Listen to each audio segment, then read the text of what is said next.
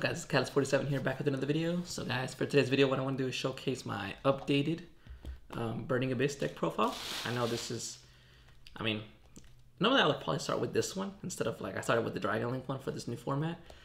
Um, but I just, I just wanted to try out, like I was really more excited about Dragon Link at the moment, but now it's like, of course I was going to make a Burning Abyss. Like, I think Burning Abyss is probably my favorite deck so far that I've played ever since I came back into the game last year. So I definitely had to make a profile for it. Um, I will go. I mean, I've already made some changes because I took this deck to locals yesterday, but it didn't perform too well. Mostly because I feel like in this current format, you even though this deck is definitely the um, more trap reliant, I do feel like I mean traps can be good, but there's just some decks right now that make some incredible boards, and just I feel like hand traps are very necessary now. So I did make a few changes, and I'll go over those changes that I made when I'm doing the profile.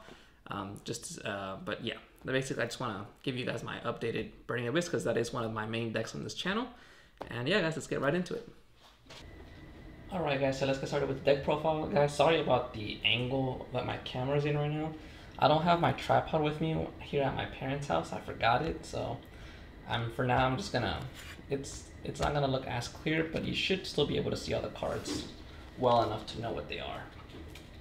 So of course, starting with the main deck, we got, of course, triple tour guide, just the very best starter in the deck, honestly, and just an amazing card. It's a one card combo, so definitely a very good card to have. It's very susceptible to hand traps, but uh, you can. There's still ways, of course, to play even uh, around that stuff like that. Then we got two Rhino Warrior. I recently, well, I don't remember on my last profile. I don't know if I had one or two, or I know at some point I was playing zero.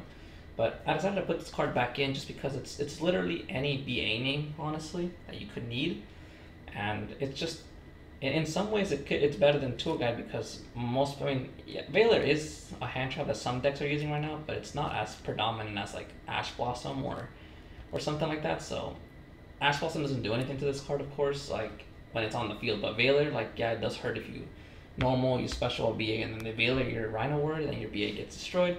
Kind of sucks, but it doesn't happen too often. Um, at least in the tournament that I was yesterday, it didn't really happen. So I think having two is fine. Uh, Tour Guide is a better normal summon, which is why I put three Tour Guide, but I don't want to run through this card because I feel like that's a little bit too many normal summons. Um, it, it is a little awkward if you draw like both Tour Guide and this card, unless you have another BA name as well. But yeah, I think two has been working out pretty well. Like it, it makes it so that you basically see, maybe see one, you know. And I guess the last other normal summon going into the BAs now, of course, triple Graff. With Graff also being a card you want a normal summon, um, that's basically eight normal summons in total.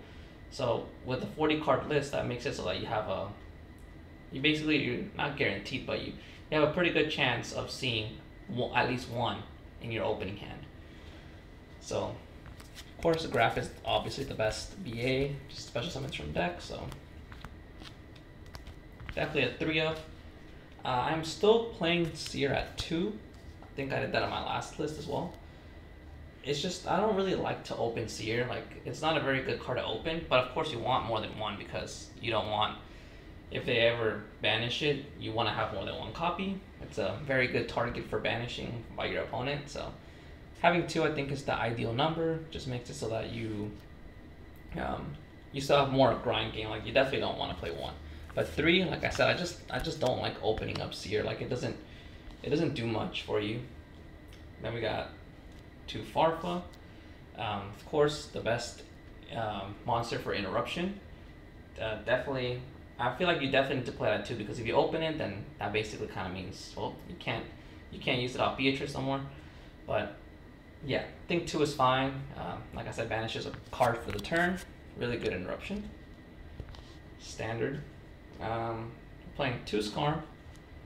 Uh, I feel like since we have the, we have three Graffs, we have the two Rhino Warriors, we have the two Scarm. Like I don't feel like we need a third one since you mostly only search tour guide with this. I mean, there's other targets, but um, most of the time you're gonna go for Tour Guide, and you basically have, like I said, with with a Rhino Warrior, with Scarm, and the three tour guides. That's basically one, two, three, four. That's seven copies of tour guide basically in the deck.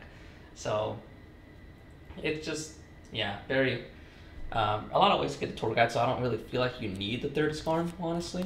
Two has been working out pretty well. And now for the one ups, we got the one Alich, the one Calcab, the one Barbar, and the one Libic. These are just the the more the more useful BAs honestly. The Libic gets uh lets you sometimes play like extend even further, being able to get one out of your hand if you have it's just another way to get another body on board. Alich negates monster effect.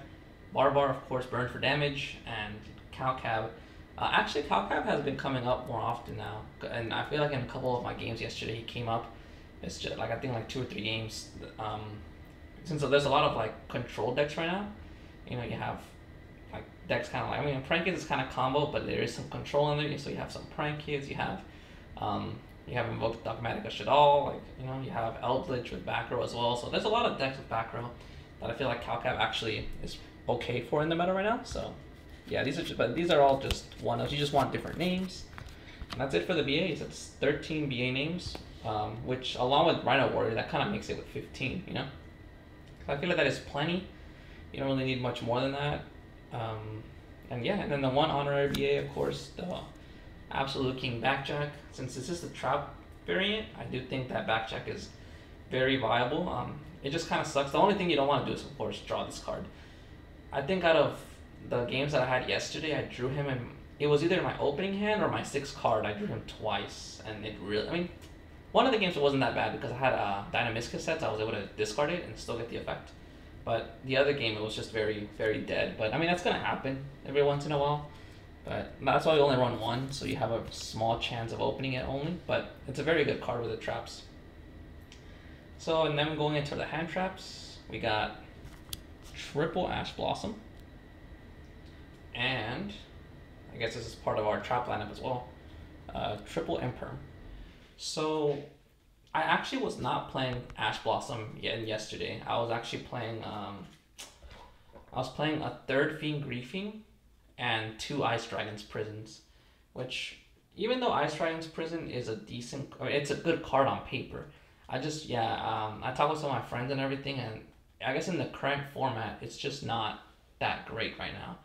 Some, you know, I mean, there's a lot of decks with just a lot of different types. Like it's a lot of engines. Um, but I mean, you do have, I guess, it can work against Sky Striker. They're all warriors. It can work against Tri Brigade as well, since there are a lot of them are like Beast or Beast Warrior. Um, so there are some decks that it does work against, but there's just other decks that it just doesn't do that much for, which I guess is true. And the main reason I had it before was um, also because of the Dragoon, but Actually, at my locals, not many people have been playing decks that use Dragoon. So, uh, and plus, it's just it kind of sucks you have to bait the Dragoon because you can just negate it if you don't bait the negate. So, yeah, I decided to cut out Ice Dragon's Prison for now. Um, don't get me wrong, I still think Ice Dragon's Prison is a very good card, and it's probably gonna go back in eventually. But for now, I decided to. I just feel like you really need hand traps. I was only running the Imperm, and I just feel like that was not. You weren't really seeing with only three hand traps. You weren't really seeing any in my open like in my opening hand. So it made it made the deck really reliant on going first, which the deck is very strong going first, but going second, it's definitely a lot weaker. So this that's why I decided to put in the Ash Blossom. So I'm probably gonna test it out again next week, see if that is better. But now going into the actual trap cards, we got of course triple solemn strike. Just solemn strike paired with you know torrential or needle ceiling or something like that. It's just very very good. Um, your opponent cannot most of the time they won't be able to respond to that since it's a counter trap card. Um, but yeah, strike very good card. Definitely think it's an absolute must in a trap deck like this. Then we got of course the triple torrential. Um, just very good card of whiteboards, of course, um, and yeah, it's just a very good card overall. Not once per turn, so if you draw multiple, it's not a big deal. Then we got three Dinomischus. This card actually has a wide variety of uses, which is why I have it in the deck. Um, it banishes your targets. It doesn't discard for cost, so if it gets negated, you still get to keep like the handed advantage, I guess. Uh, and it can also bring itself back and turn itself into another body, so that's pretty good. And oh yeah, and then the last thing is that since it banishes any face-up card, this is also your out to certain cards. Like, you know, uh, yesterday I I ended up getting um. I mean, it didn't come up yesterday, but um, my opponent did have uh, there can only be one, so it would have been if I had drawn it, I would have used it. It's just uh, I ended up phoenixing it out, but yeah, Dinomischus would have been able to out the TC Boo as well, and then you can out Mystic Mine. So it's a it's a pretty good card overall, being able to not just target monsters. And then we got for the two ofs, we got two Needle Ceiling. Just uh, I mean I think Torrential's better, but Needle Ceiling is also a good card, and I just don't have the space to run three, so I'm running two right now. You, you just want at least two so you can trap trick it out, at least. That's why basically all these traps are at least a two of. Fiend Griefing, two Fiend Griefing. Um, like I said, I was running three before, um, and the two Ice Dragons Prison uh, in, in place of the Ash, but because I feel like you really do need more hand traps in this format, I decided to cut the one Fiend Griefing in the and the Ice Dragon's Prison. And Fiend Griefing it just generates a good amount of advantage, being able to put back a monster on your opponent's graveyard back to the deck, and being able to send one of your fiends. So definitely good stuff. And last but not least, the three trap trick. Uh, I am debating on just cutting this card to two, just so I can make the deck 40. Right now the deck is 41 cards. Uh, I just feel like Trap Trick is such a good card though, being able to search basically any other trap. The only thing that kind of sucks is um, that you can't activate, you can only activate one more trap after you've activated this card. So, um, so you definitely don't want to see multiple of this card, which is the reason why I'm thinking of cutting it to two. And also because I want to make the deck 40, so. Uh, but yesterday I, I was playing a 41 card list. Um, and the deck didn't do that good, but I don't think it was because of the fact of Trap Trick, I just think it was um, I needed more hand traps. Um, and I mean, of course, I lost the die rolls. I think I played three rounds before I quit. Uh, two rounds before I quit. Because um, if you lose two rounds, you're basically not that at top. So I was like, and, and I just I was I didn't want to like I just didn't feel like playing out the whole tournament because it was like six rounds. Um, but yeah, both rounds lost, and then uh, I mean, honestly, both games were definitely it was possible to win like the first round I placed in for Noble Knights, but of course he won the roll, and that deck going first is just insane. Um, and because I don't have any hand traps, it just I mean besides imperm, but I didn't draw it, so it's there was nothing really I could do. Um, and then games, uh, the game two, of course I went first, and I I won pretty. It wasn't like that close either. Uh, game three, of course, he went first. Um, and actually, I guess in that game, maybe I might have misplayed myself. I maybe I didn't play it as well because I definitely I could have maybe won. Uh, and then round two, I played Prank Kids, but that round I most I should have won honestly, but just the games were so long that it, it went into time. And of course, Prank Kids with their monsters that gain life and burn and all that stuff. I, that's literally why I lost, just of life points. So it feels bad, but I think if we had grinded it out, I think I would have won game two uh, and I definitely would have won. That I would have been a 2-0. But well, nothing could be done there. So yeah, trap trick definitely. Uh, like I said, I might cut the card to two, just to make it 40. Now going into the extra deck, we got the one Beatrice, of course. To BA's Beatrice, you need it. We got triple Dante. Um, I, I mean, I just love seeing the playset, which is one of the big reasons why I play it. But this deck is a very grindy deck, so you definitely need at least two. Um, I don't think yesterday in the games that I played, I don't think it ever came up where I needed the third one. Um, but I definitely needed two for sure. I've definitely used two almost every game. So if you really want to, you could probably cut one Dante. I just like to have a third just in case. Then we got the one Fortune Tune. Um, it didn't come up at all, so it's just potentially maybe a card I could cut in the future. But I mean, I could definitely see its uses um, in sticky situations where you can't beat over the monster with Dante. But it just didn't come up. But I, I still think I'm gonna keep it because it's not like it's never come up. I have had to use it just in yesterday's tournament. It never came up. One Downerd, definitely not cutting this. You definitely need this card, especially when you're if you bring back Dante with Cir and it only has it's only Dante, no materials, you definitely need the the Downerd to be able to go into Zeus with two materials. And then of course the bread and butter, the extra deck honestly. Two Zeus. Um, I think this is definitely one of the reasons why this deck is actually still playable in the meta. Zeus just makes the deck so much more powerful. And with your BAs, like it's just so good because you're gonna have Dante attached so most of the time. So you're gonna get Dante effect as well, basically recur itself and all that stuff. So I definitely think you need two Zeus. I don't think one is enough. Um, going into the links, I got the one access code talker. You know, it didn't come up yesterday, but I know it. I'm not. Uh, I know it has come up before. It's definitely a good card to help you OTK, because this deck, even though it's very good and can whiteboard with Zeus, like this deck does actually does not OTK that easily. So yeah, access code is definitely good for that. Then we got the two Knightmares, one phoenix and one. Oh, sorry, one unicorn and one phoenix.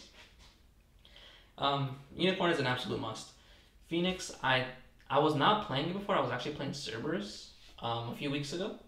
I just put in this Phoenix yesterday, but it came up a good amount of times where I was like, yeah, if I had Phoenix, I could have done more. But so that, that's why I switched out the Cerberus and Phoenix. And actually, it did come up yesterday, so uh, I'm glad I put it back in. Then we got, of course, the one IP. This is part of the combo, ending with IP and Beatrice, so definitely needed. Good card. Uh, the one Cherubini. Uh, this is this really helps you with your, I guess, not necessarily OTK, but it just can do a lot of damage if because it helps you go into access code with three. Um, you, know, can have two or three uh, counters on it, so it's 43 or 5300. So it's really good stuff. Uh, so I definitely think Cherubini is needed. I know some BA decks don't like using Cherubini, but I personally do. The one gravity controller, of course, if you ever, if you don't draw away to Graff and you draw Cir, then you can still end on uh, gravity controller Beatrice uh, with just, yeah, with Cir and, and another BA. So I definitely think it's needed for that situation. And the last but not least, the one Pilgrim. Of course, if um, I know it doesn't come up very often, but when it does come up, it's really nice to be able to summon Pilgrim off of Beatrice effect. So, yeah. So that's it for the extra deck. Now going into the side deck, this is what I was playing yesterday. Uh, I played three Droll, mostly for the Drytron matchup, which I never I never got to play yesterday against. Uh, we got the back row hate, we got three Twin Twister, and the one Harpie's Feather Duster. It did come up yesterday, but I never drew it. Like I, I put in both rounds, I sided them in, never drew, not even one. That was tragic. So unfortunate, but but I mean I'm not gonna cut it just because it just sucks that I didn't draw them.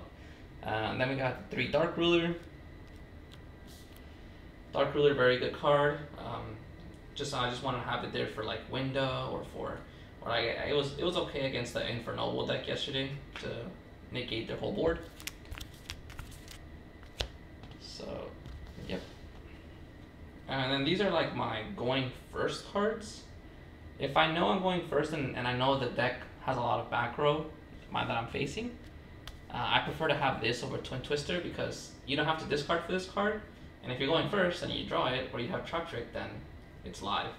So Heavy Storm dust, Heavy Storm Duster really good. Good more uh, back row destruction. Mm, even like I said, because you don't have to discard, I like that. Um, then we got two anti-spell and the one order. Uh, again, I did side these in yesterday, but I never drew them. So kind of sucks, but what can you do? Um, these are very good, like these are blowout cards against certain decks. And my deck uses no spell cards um, besides the side deck stuff, but um, yeah, since I have no spell cards in the main, it's perfect for the deck. But yeah, that's it for guys. Um, that's the whole BA deck profile. I hope you guys enjoyed. Uh, like I said, I told you guys the little changes I made, and yeah, that's. Even though I didn't play, I didn't do that well yesterday. I'm hoping that with these little changes I made, I'll be able to play again soon and get closer to topping or topping. Know, it'd be nice if I could do that with this deck. I really want to I really want to make it happen with this deck, guys. Um, but yeah, thanks for watching, guys. I'll see you on the next video. Peace out.